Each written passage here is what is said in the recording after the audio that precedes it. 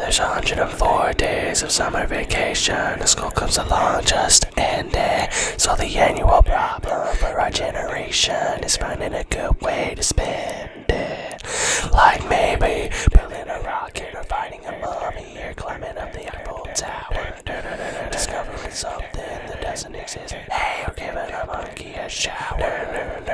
Surfing tidal waves, creating nanobots, or locating Frankenstein's brains over here. Finding a dodo bird, painting a counter there, driving us history insane.